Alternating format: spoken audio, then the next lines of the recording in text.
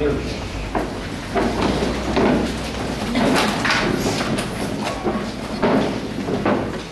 Nosso Deus e Pai Celestial, nós te glorificamos, Senhor, por esta manhã, que aqui tivemos forças dadas pelo Senhor para virmos em busca da verdade, da direção para os nossos passos, para os nossos pensamentos, para os nossos sentimentos. Viemos aqui, ó Deus, como instrui-nos a tua palavra, buscar-te enquanto se pode achar e invocar-te enquanto está perto.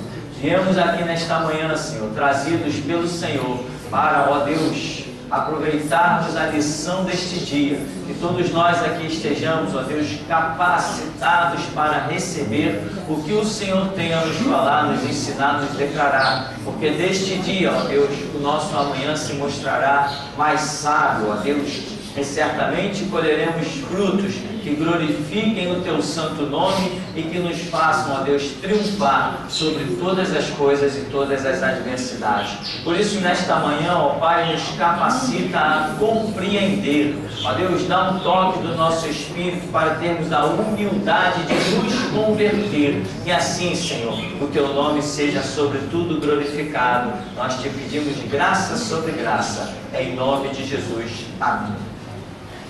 Se sentar. Nesta oportunidade, nós queremos voltar a tocar em um assunto,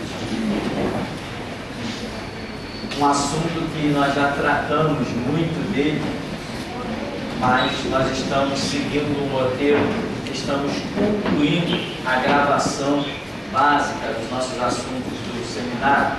E nós vamos mais uma vez tocar num assunto que fala, a Bíblia fala tanto a questão do vinho. Você já viu o quanto que a Bíblia fala sobre o vinho? Quem já tentou para isso? Do antigo, olha, a palavra vinho aparece tanto em simbologias como em coisas normais. Desde Gênesis até Apocalipse aparece essa palavrinha.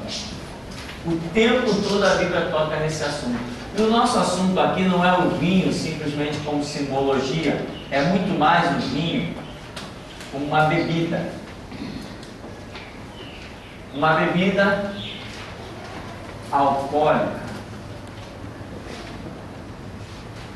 E hoje aí na sociedade está se fazendo uma grande campanha, né? Se dirigir, não beba camarada que é pego alcoolizado perde a carteira de motorista, tá uma série de coisas, porque chegou-se à conclusão que a grande maioria dos acidentes estão sendo causados por pessoas alcoolizadas que entram ali no seu, no seu veículo e acabam uma série de problemas. Na internet, se você procurar acidentes causados por bebidas alcoólicas, você vai ficar um pouco impressionado e tem que ter até um ânimo forte para se deparar com certas narrativas e certas cenas. Então, nós queremos tocar nesse assunto de uma vez por todas. O que a Bíblia diz? O que nós queremos descobrir na Escritura são os mandamentos do Senhor. Mandamento é aquilo que nos dá a direção. Mandamento, a Bíblia diz: aquele que guardar os meus mandamentos terá terá vida por eles. Mandamento é o que nos dá vida. Né? Jesus falou: se alguém não guarda a minha palavra, eu não não julgo as minhas palavras o julgarão no dia do juízo. Então, o que, são as palavras do Senhor? Mandamentos. Deus só poderá cobrar da humanidade aquilo que ele deu como um mandamento. Se vós estiverdes em mim e as minhas palavras estiverem em vós, pedireis tudo o que quiserdes. É uma promessa muito pesada e vos será feito. Hoje tem muitas pessoas que estão vivendo algumas migalhas e reconhecem que diante de toda aquela glória proposta do Evangelho, eles não estão vivendo aquilo. Mas não existe culpa no mandamento. Não existe culpa no Deus do mandamento. Se existe alguma culpa, a Bíblia diz de que se queixa o homem, queixe-se de si mesmo, de seus próprios pecados. Então, se eu não triunfo, se eu não venço, existe um culpado. Não é nem o diabo, sou eu. Porque eu com Deus, cadê o diabo no meu caminho? Nada me para, nada me detém. Eu vou sempre caminhar, crescer, porque Deus está na minha vida. Então, se eu cair, ora, quem caiu fui eu. Não tenho nunca nenhum motivo para culpar ninguém. Ah, mas Adão caiu porque deu ouvidos à sua mulher. Mentira, não é verdade. Ele caiu porque ele foi orelhudo de dar ouvidos à sua mulher ele era obrigado a dar ouvidos a ela? Não. Então, a queda de Adão foi culpa de quem? De Adão, não foi de Eva. Senão é, Eva estaria certa. Não, foi a serpente. Não sou culpada de nada, foi a serpente. Quem criou a serpente? Não foi o Senhor? Então o Senhor que é culpado, o Senhor que criou ela. Então a culpa ia cair lá em cima de Deus, porque Ele é a origem de todas as coisas. Não, Deus não é culpado de nada. Nós somos culpados. E nós, nesse ministério, eu, particularmente, já descobri que a força e a vitória está em guardar os mandamentos. E sobre esse assunto, na Bíblia, eu quero começar uma passagem de Gênesis. Se você tiver a sua Bíblia e quiser abrir, eu vou dar um tempinho só para você abrir. Você vai ter que ser um pouquinho rápido para nós ganharmos tempo e concluirmos esta lição toda hoje. Lá em Gênesis 9, 21, né, o primeiro livro aí fica fácil. Diz assim: Um dia Noé bebeu muito vinho, ficou bêbado e se deitou nu dentro de sua barraca. Tá. O fato de Noé deitar-se nu dentro de sua barraca demonstra que não era algo tão comum porque os seus filhos, lá, um dos filhos, quando viu a questão, ele achou que não era normal. E foi comentar com os outros irmãos. Tem pessoas que dormem, no, principalmente no calor, não é? Mas naquela época, quando o filho de Noé percebeu, ele achou que aquele fato de Noé estar nu não era normal. Você concorda comigo? Tanto que ele foi fazer um comentário com os outros irmãos: Papai está nu. Está nu? Não, não pode ficar nu. O que, que eles fizeram? Pegaram uma toalha ou um pano e foram de costas para cobrir o seu pai. Por quê? Porque não era algo normal naquela cultura, naquela, naquele posicionamento que eles estão enxergando as coisas.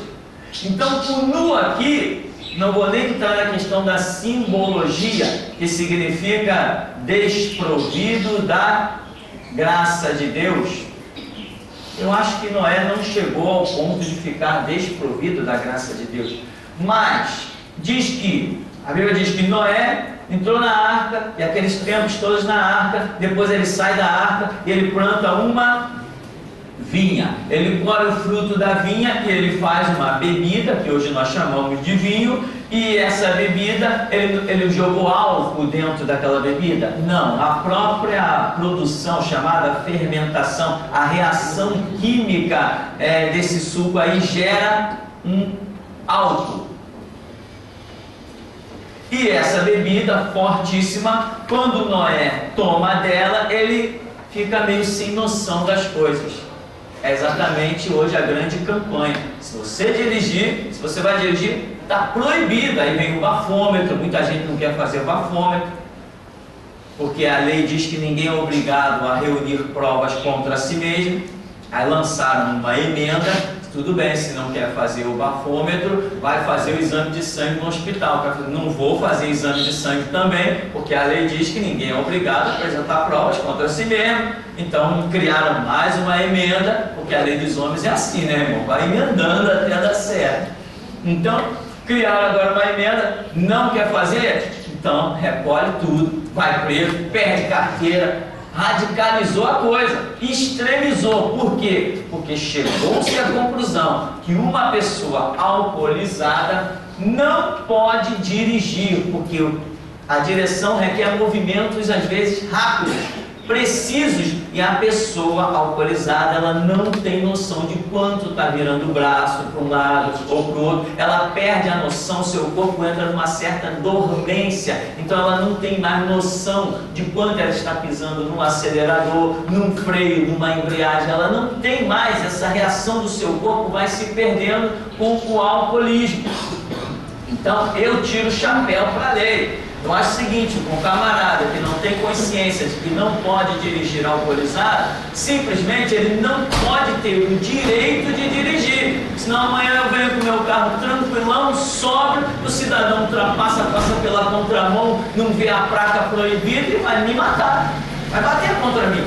Então eu acho que todas essas pessoas que dirigem sem consciência, dirigem alcoolizado, têm que ser arrancados da rua. É uma opinião pessoal que eu tenho, mas isso não compete a mim, isso compete ao Estado. Então, Noé perdeu a noção. Ah, então, tá. Noé perdeu a noção, ficou nu, causou um escândalo. Resultado da atitude de Noé, qual foi? Depois, quando ele volta à sobriedade, né? Contaram para ele, olha, contaram para ele. Por que que contaram para ele? Ele nem sabia que tinha ficado nu.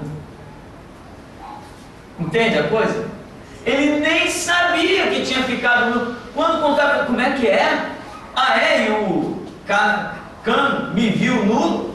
Então eu vou fazer o seguinte: eu vou lançar a maldição. Depois, no final, Noé vem, quando está abençoando seus filhos, diz: Cã, por quanto me viu nu e etc, etc, como se a culpa fosse de Cã.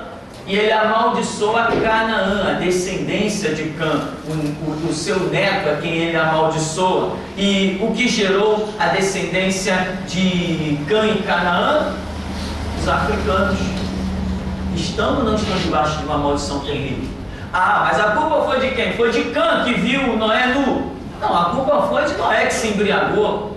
Aí Noé, se estivesse aqui, Noé se levantaria em nosso meio e dizia assim: Mas Deus nunca proibiu beber. Ele também nunca mandou ninguém ficar embriagado. Qual foi a consequência da embriaguez de Noé? A consequência, nós temos hoje uma África debaixo de maldições terríveis. Por quê? Por causa de copo de vinho, besteira. Por que, que o Oriente está em guerra? Não, porque Abraão pulou uma cerquinha baixa. Quem mandou fazer a cerca baixa? Foi fazer um filho lá com a, com a egípcia. E descenderam aí esses árabes aí terríveis. De quem foi a culpa? A culpa foi da cerca que era baixa. Abraão era um coroa, pulou. Fazer o que? Misericórdia. Então, Noé, nosso primeiro personagem, se embriaga, fica nu, gera aquele problema todo, ele está numa posição meio terrível, depois vem, sabe que seu filho o viu, amaldiçoa o neto, e hoje nós temos essa África aí de uma maneira horripilante, né? E nada dá jeito naquilo. Se você quer saber um lugar onde tem fome, um desses lugares é na África. Será que a maldição de Noé está perpetuando até hoje? Eu creio que sim. Então, você vê que Noé poderia se defender dizendo: Não existe mandamento que me proíba beber. E não existe realmente, Noé estaria certo. Porém, nós já vimos, Noé, a consequência da sua bebida. Amém? Não existe mandamento que me proíba comer. Mas às vezes, quando pinta aí um estrogonofe de frango, quando pinta aí um bobó de camarão, eu acabo extrapolando, depois eu tenho que ir para o sal de fruta. Mas não é proibido comer. Não, mas se eu comer demais, esquecer o meu limite, isso vai me trazer uma consequência. É proibido beber? Não, mas então você vai beber e vai entrar no teu carro 80, 90 por hora. Então, acima do mandamento, existe um fator consciência. A sabedoria do ser humano, meu irmão, não faz com que ele necessite do mandamento, não. Pois o próprio Senhor Jesus diz assim: quando vocês fizerem tudo que vos foi mandado, ou seja, está falando de mandamento. Quando vocês fizerem tudo que vos foi mandado, considerai os servos hã? inúteis. Ora, por que, que Jesus diz isso? Se vocês fizerem tudo que eu mandar, olha, se considere servo inútil. Porque ele está achando que a nossa consciência tem que ser capaz de perceber detalhes que, que, que atinjam um nível acima do próprio mandamento. Em que sentido acima do próprio mandamento? Por uma necessidade e pelo próprio fator, pelo gênese, vamos assim dizer, da criação que está dentro de nós. Por exemplo, eu vejo uma pessoa necessitando de uma ajuda ali na esquina, uma pessoa numa situação difícil. Não, Jesus não me mandou estender a mão para ninguém. Jesus, eu preciso de um mandamento para ajudar meu próximo. Eu não tenho a consciência de que eu gostaria de ser ajudado. Então, não é o mandamento somente que vai nortear a minha vida. Porque se eu me guiar só pelo mandamento, isto revela escravidão. Mas a Bíblia diz: se pois o Filho vos libertar, eu sirvo Jesus, sirvo os seus mandamentos com uma consciência que eu olhando a necessidade do reino, eu posso, tente entender, eu posso esquecer o mandamento e ir para oração. E na oração não vou receber um mandamento, eu vou receber uma permissão. Aonde na Bíblia nós encontramos? Construam templos, criem rádios, façam trabalhos pela internet. Isso é mandamento? Não. Inclusive tem gente, pastores hoje, que ainda dizem que a televisão é do diabo, dizem que o computador é do diabo. Irmão, a Bíblia não diz nada de computador. É mesmo? E quando eu vou para a minha oração com o meu Deus, o que ele me diz? Então, andar só no mandamento, os tempos mudam e o Deus que está acima do mandamento, se você não busca, não há manifestação dele. Então Jesus está dizendo: quando vocês fizerem tudo que eu mandei, vocês são ainda servos inúteis. A classificação de vocês é essa. Porque ele está dizendo: dá para ir além. Dá para ir além do mandamento. Agora, isso aqui pode ser um pouco complicado para a cabeça de uns, pode ser tranquilo para a cabeça de outros mas nós não vamos nos aprofundar nisso. Nós vamos voltar ao nosso tema. Gênesis 14, 18. Diz: E Melquisedeque, que era rei de Salém, sacerdote do Deus Altíssimo, trouxe pão e vinho. Né? Aquele encontro de, com Abraão, etc. E eles foram comer. Então a Bíblia está falando mais uma vez do vinho. Quero dizer para você que a exemplo de Noé, que se embriagou e ficou nu e depois não sabia nem que tinha ficado nu, eu quero dizer que o vinho aqui já era algo que tirava a razão. Vinho, na Bíblia, quando aparece vinho, é sempre vinho. Está falando de uma bebida alcoólica que, como mostra lá desde Noé, tira a razão. A Noé perdeu a consciência de tudo. Ele apagou. É como se ele tivesse um coma. As pessoas podiam falar com ele que ele não estava vendo nada, não estava percebendo nada. Aqui então, Melquisedeque se apresenta com pão e vinho, mostrando que não há restrição, não há proibição ao uso do vinho. Vamos seguir mais um pouco. Gênesis 19, 32 diz: Venha cá, vamos dar vinho a papai até que fique bêbado.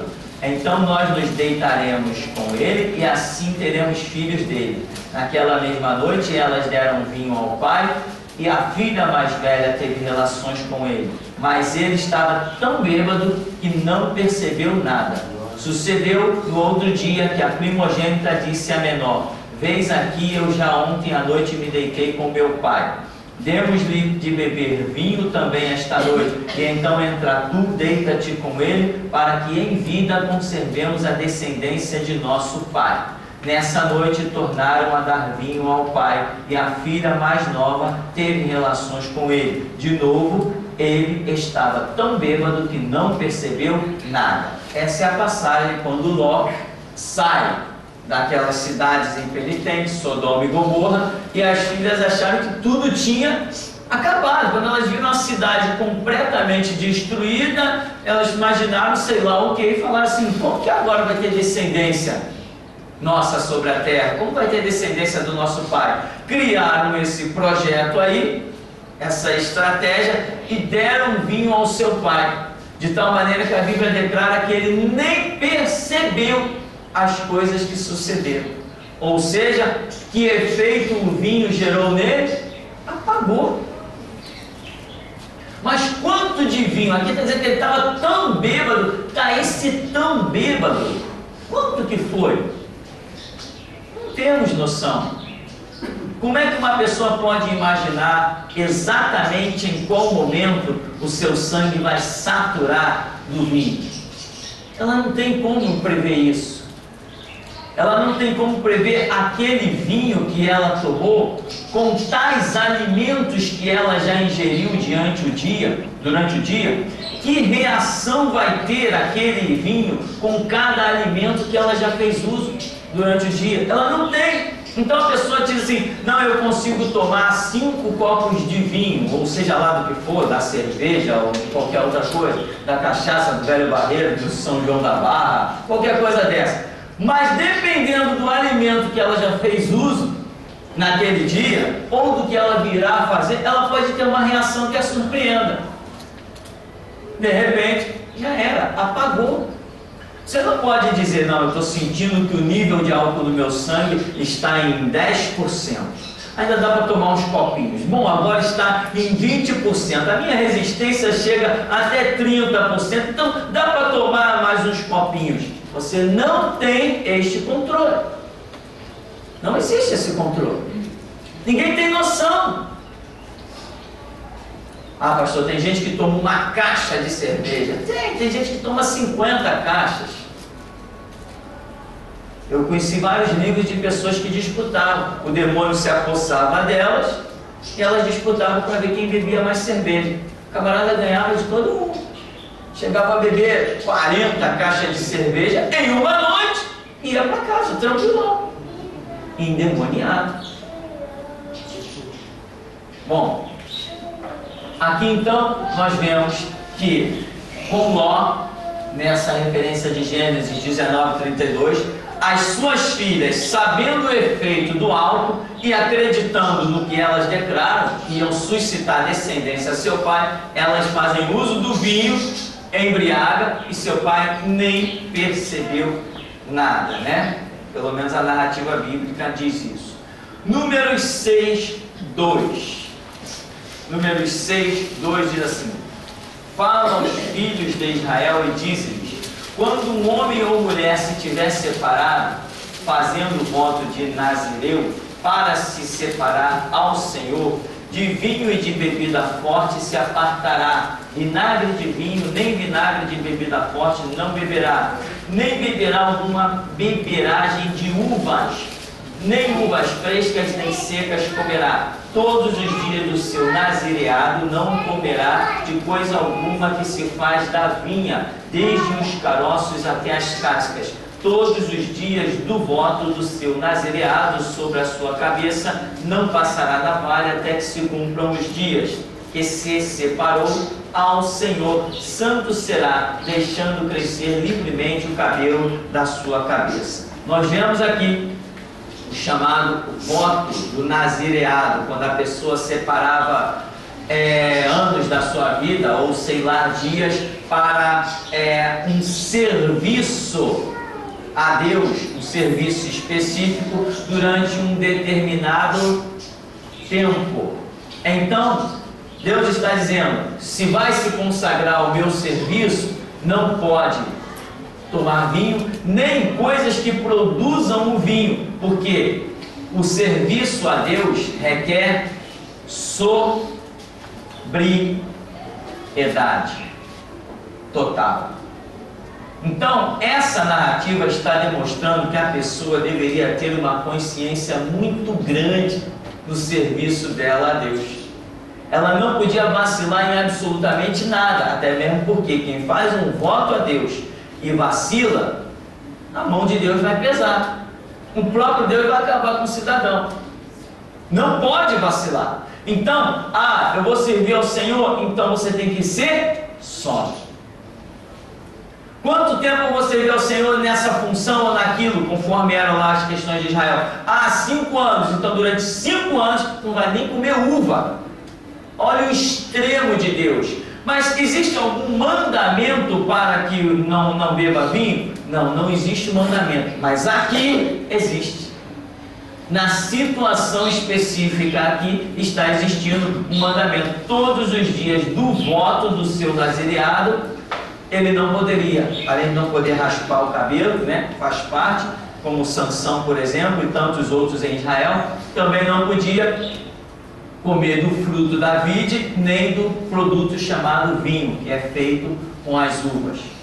Então, proibição, mandamento, não. Aqui nós vemos uma situação específica. No geral, existe alguma coisa proibindo o vinho no geral? Não, no geral, não. Porém, nós vemos diversas ad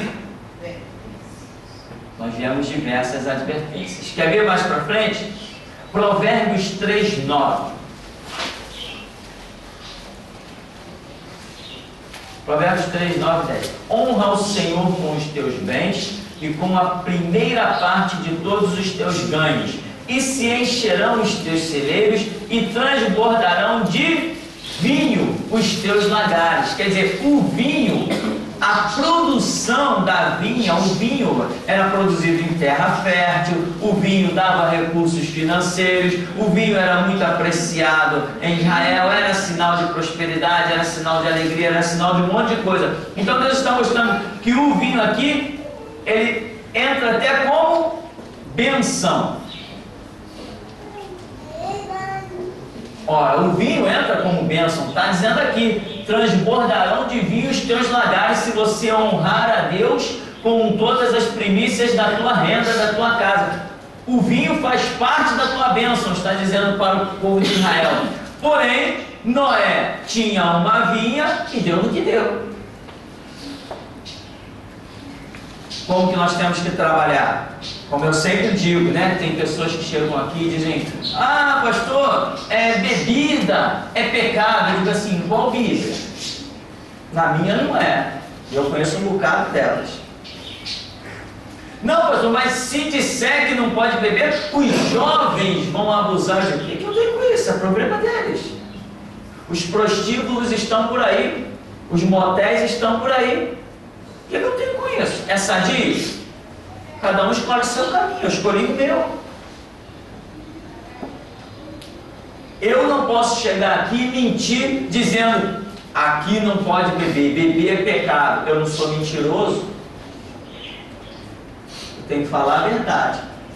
A verdade é que beber não é pecado. Mas todos aqueles que erraram se ferraram.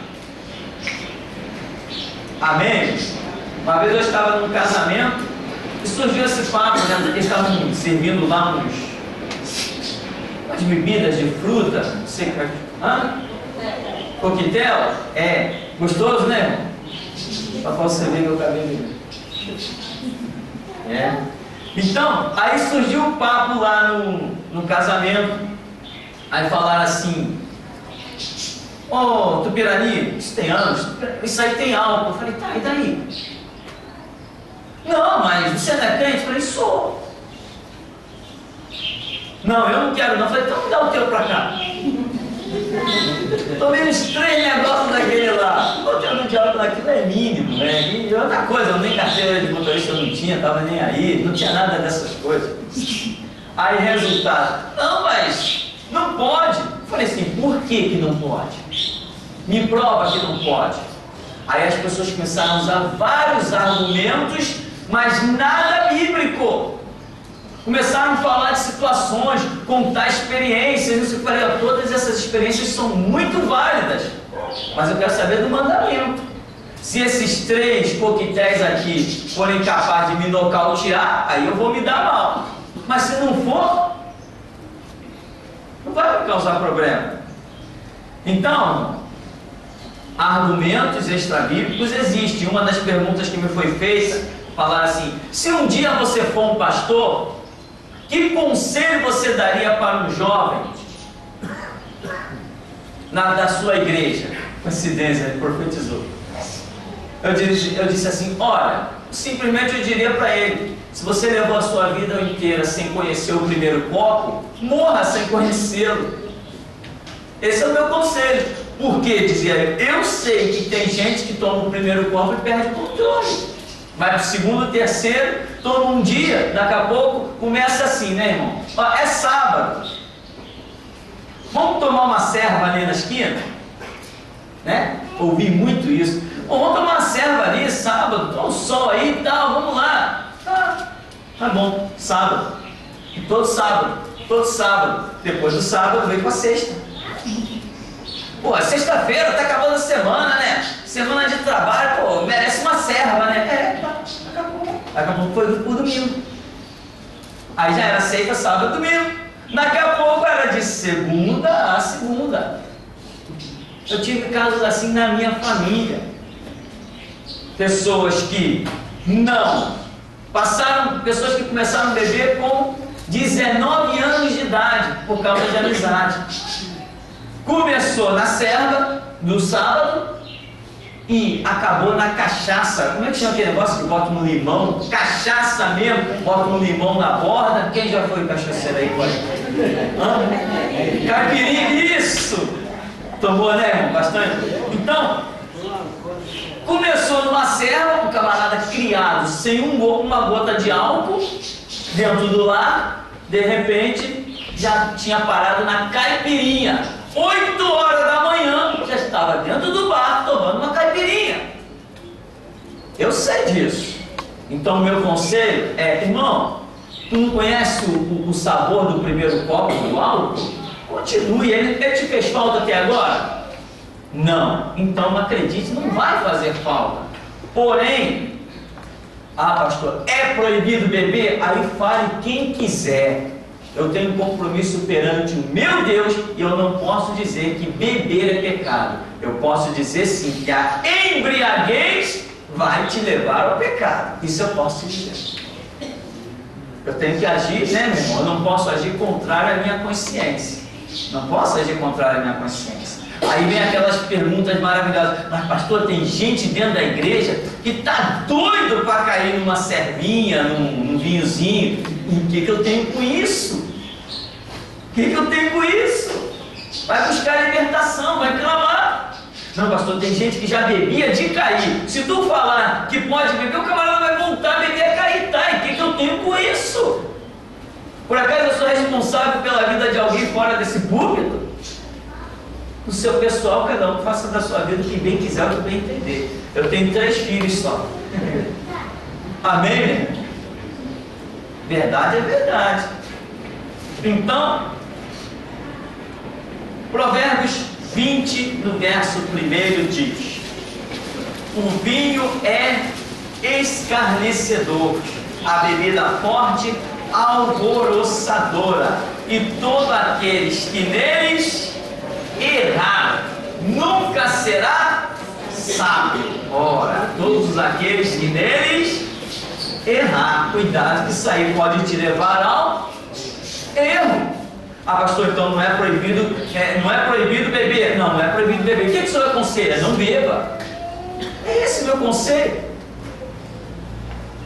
Entende? Ou será que você é tão fraco que um, o cheiro do vinho consegue te alvoroçar, consegue te dominar e te fazer errar? Então, uma coisa é o mandamento, outra coisa é a advertência. E se tem uma coisa que não falta na Escritura, em termos de advertência, é com relação ao vinho. Aqui você viu, né? Provérbios 20. O vinho é escarnecedor. O que é ser, você ser acometido de uma situação e passar a ser um escarnecedor? Você, você zomba das coisas mais santas.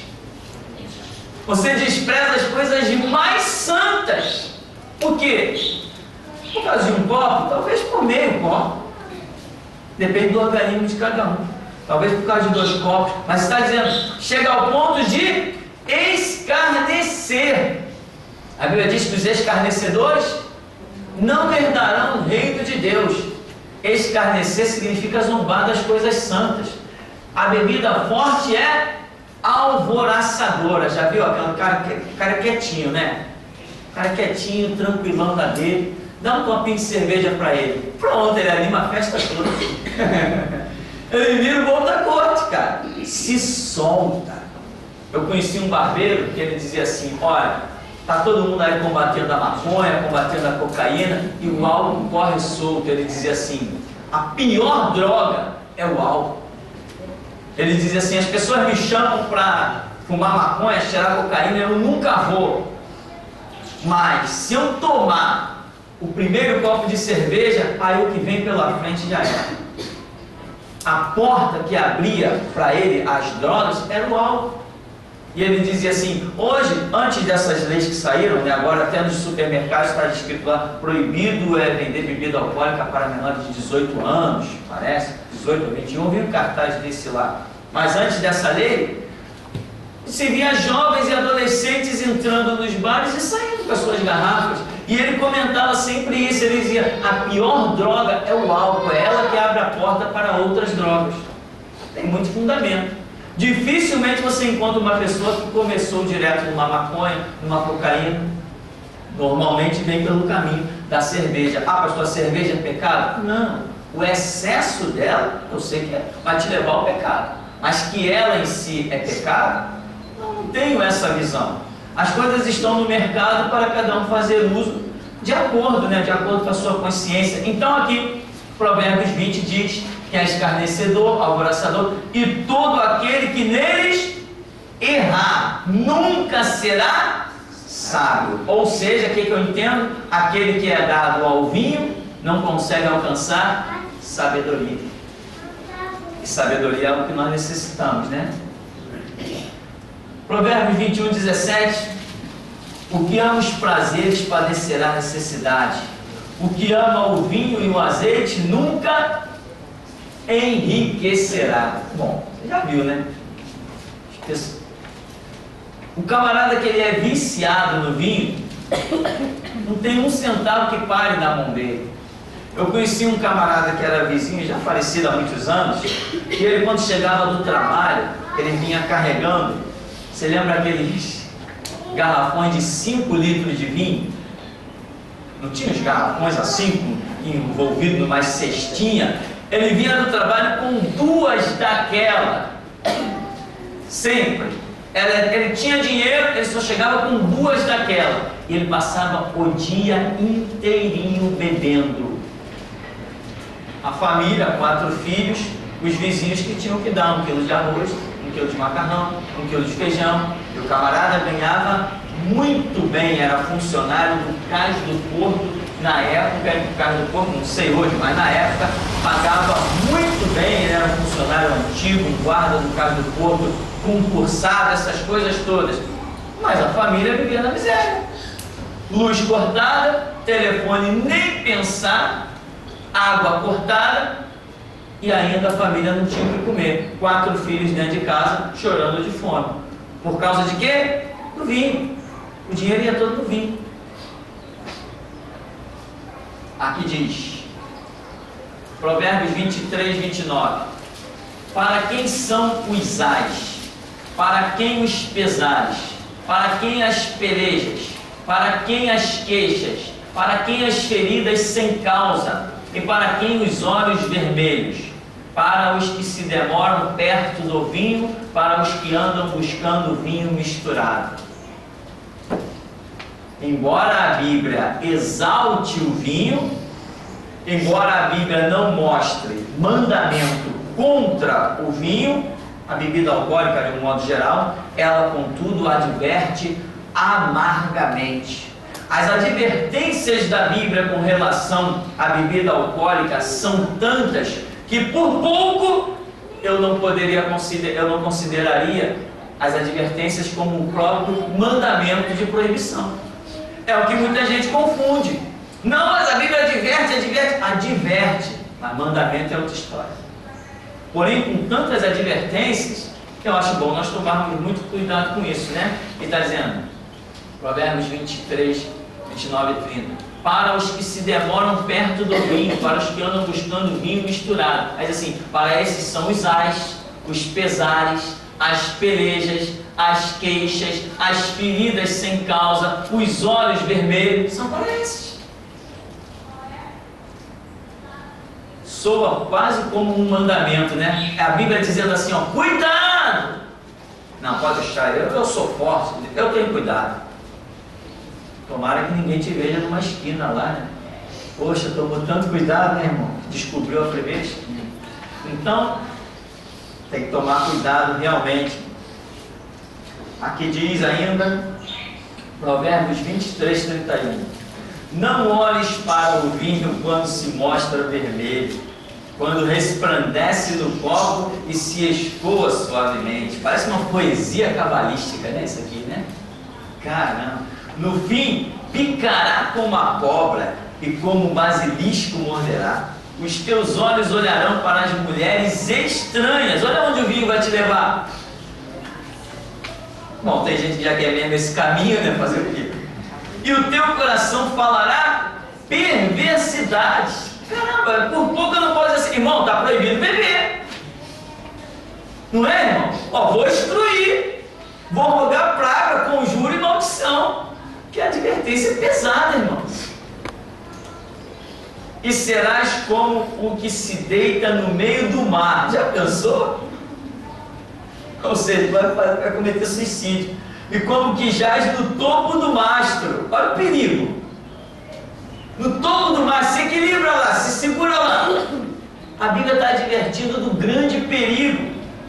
E, diz, e dirás: espancaram-me e não me doeu bateram-me e nem senti. Quando despertarei, aí então beberei outra vez. É isso aí. Pastor, é proibido beber? Não, aqui não tem esse mandamento. Mas tem esta advertência. Sabe qual é o meu conselho? Você vier por uma estrada que vê um copo de vinho brilhando, que nem diz aqui, né? Te desvia, irmão, enquanto é tempo. Foge porque tem coisas que você não tem força para vencer. Paulo adverte dizendo assim: foge da prostituição. Ele vem com uma lista, ele diz assim: ó, se a parte disso, evita isso, se a parte daquilo, evita aquilo outro. Aí quando chega assim, quanto à prostituição, foge dela, corre, escapa. Ou seja, ele entendia que tem coisas que são mais fortes. Se você vê uma portinha, você vai querer em frente, eu vou ler isso aqui de novo. Provérbios 23, 31. Não olhes para o vinho quando se mostra vermelho, quando resplandece no copo e se escoa suavemente. No fim, picará como a cobra e como o basilisco morderá.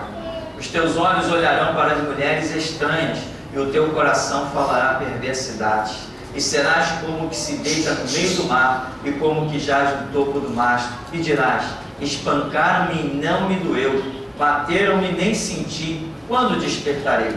Aí então beberei outra vez.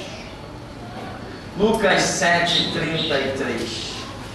Porque veio João, veio João o Batista, que não comia pão nem bebia vinho, e dizeis: tem demônio Veio o filho do homem que come e bebe, e dizeis: Eis aí um homem comilão e beberrão de vinho, amigo dos publicanos e pecadores. Muitos que querem defender, eu não estou aqui para defender nada, estou aqui para ver as advertências bíblicas. Mas alguns que gostariam de defender, certamente, né? Por exemplo, eu já vi um, um rapaz que até foi pastor, hoje não é mais, é desviado depois de ter um ministério glorioso. E ele defendia muito Chegava tranquilamente num bar lá, meu cerveja. Uns ficavam escandalizados tal. Meu chope aí tal. Para mim não faz a mínima diferença. Eu tenho a minha vida com Deus e eu não sigo exemplo de homens. Meu exemplo é Jesus, né? Ele me mostrou seriedade, sobriedade, verdade. Então, não me importa quem do meu lado ou à minha frente caia. O, a Bíblia diz olhando para Cristo, autor e consumador da nossa fé. Então não importa quem à nossa volta cometa os delitos, isso não nos escandaliza, porque Cristo é o nosso referencial. Aqui então diz: Jesus está falando, veio João Batista que não comia pão nem bebia vinho. Mas vocês disseram o quê? Tem demônio. Aí vem eu, filho do homem, que come e bebe, e dizeis: Eis aí um comilão e bebe, bebedor de vinho, amigo dos publicanos e pecadores. Então, Jesus bebeu vinho? Bebeu. Ninguém viu Jesus embriagar? Não, ninguém viu Jesus embriagar. Não há nenhum relato de que, poxa, Jesus naquele dia extrapolou e disse assim: Ó, vou tirar uma soneca que eu não estou me aguentando. Não, não tem esse relato. Ah, então, pastor, se Jesus bebeu, eu também posso beber. Ninguém disse que não. Alguém aqui falou que alguém não pode beber? Não. Mas as advertências da Bíblia são sérias. Seguindo ainda, 1 Timóteo 3,8, da mesma sorte os diáconos sejam honestos, não de língua dobre, não dados a muito vinho, não cobiçosos de torpe ganância. Se Timóteo, se Paulo está escrevendo isso para Timóteo, não dados a muito vinho, ele então não está colocando uma proibição ao vinho, ele está colocando uma advertência. É o nosso assunto advertência. Aqui diz também 1 Timóteo 5,23: Não bebas mais água só, mas usa de um pouco de vinho por causa do teu estômago e das tuas frequentes enfermidades. Paulo dá este conselho para Timóteo e ele acredita que a presença do vinho com a água lá misturada, não sei exatamente como, para Timóteo, lhe faria bem. É bem verdade, que nós já vimos receitas médicas aonde o, o médico aconselhou um cálice de vinho. Cálice desses bem pequenininho, olha, toma um cálice de vinho no almoço, ou era na janta. Já vi receita médica onde o, o, o médico passava e aconselhava isso para determinados casos dos pacientes durante um período de tempo. Agora, não podemos confundir uma receita médica né, com o dia a dia. Aí tem que ver a consciência de cada um, né? De repente, não, o médico me aconselhou um cálice de vinho, poxa, se um cálice é bom, ah, então um balde deve ser melhor ainda. Aí é por cada um. Nós temos que ter consciência dos nossos atos.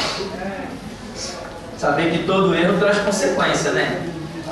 Então diz ainda, Tito 2, 3. As mulheres idosas, semelhantemente, que sejam sérias no seu viver, como convém a santas, não caluniadoras, não dadas a muito vinho, mestras no bem. Então, o mesmo conselho que Paulo dá para os homens, diáconos, ou seja, aqueles que tinham cargos dentro das igrejas, ele também dá o mesmo conselho para as mulheres, que elas sejam as mulheres idosas estão sérias no seu viver, como convém a santas, não caluniadoras, não dadas a muito vinho. Então, se Paulo está dizendo não dada a muito vinho, significa que ele não tem em mente um mandamento de proibição, mas ele manifesta uma advertência. Então, fica aqui nosso último conselho com relação a esta polêmica situação. Tem muitos versos bíblicos, você deve achar assim um montão. Eu achei aqueles, eu coloquei aí nessa folhinha aqueles que eu considero mais interessantes para mostrar que, embora não exista um mandamento de proibição, embora não haja um mandamento de proibição, contudo existe uma séria advertência, né? Tem gente, meu irmão, que bebe todo dia e diz que é livre. Quando você costuma fazer uma coisa todo dia, não, eu gosto, gosta e não percebe que já é escravo. O dia que tentar largar, vai se decepcionar. Vai ver que não era tão forte quanto pensava. Outra coisa que você tem que sempre tomar muito cuidado com o que você come ou bebe. O que você come ou bebe cai na corrente sanguínea.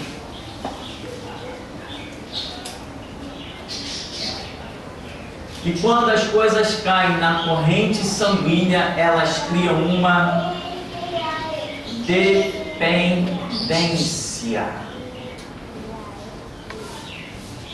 Quer ver uma coisa? Não vou nem dizer uma semana. Passa dois dias, só dois dias, comendo só coisa doce. Hum. No terceiro dia você vai estar desesperado, querendo alguma coisa salgada. Além da necessidade do teu organismo de ter o sal, o teu organismo já está viciado. Além do seu organismo, ao seu corpo em si necessitar do sal, a sua corrente sanguínea já está viciada em ter o sal.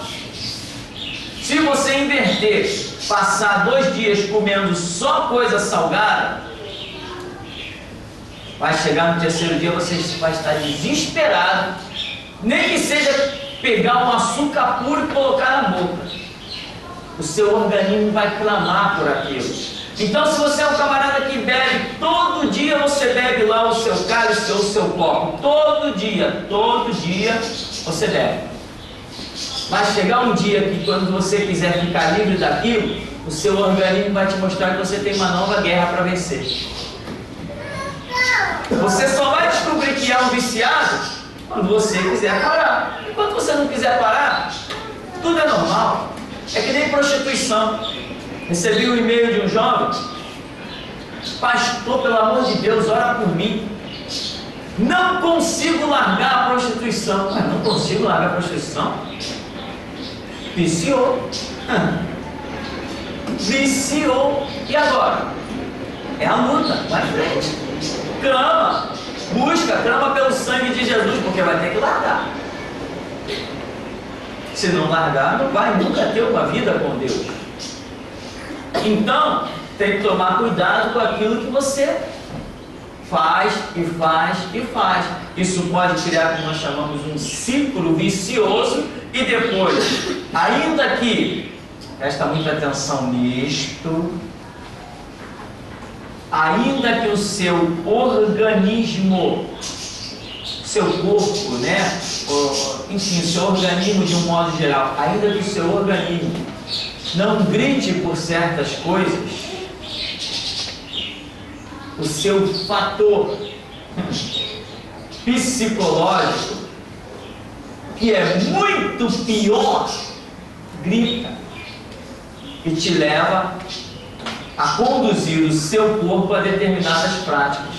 E depois você diz assim, mas eu não precisava daquilo, eu não tinha nenhuma necessidade daquilo, aquilo não me acrescentou nada. É, mas o teu fator psicológico já estava viciado.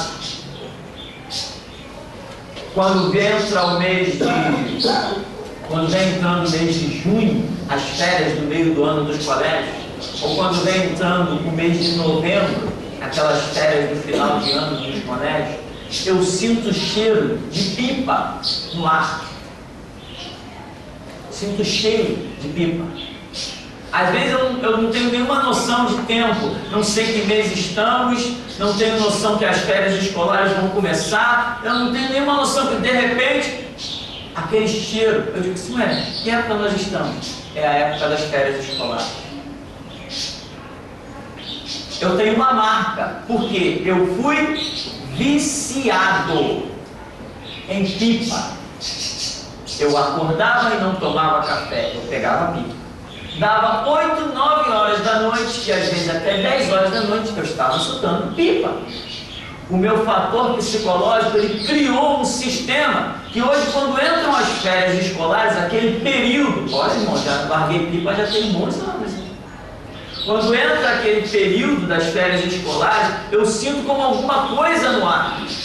É o fator psicológico, que muitas vezes é maior que a própria necessidade física. Então, você está diante de um complexo chamado você mesmo. Então, tome cuidado com a advertência. Lute, guerreiro, que as coisas não são tão fáceis quanto a gente pensa. Muitos pastores não resistiram, voltaram a cair na prostituição. Outros não resistiram, voltaram a cair nas bebidas alcoólicas.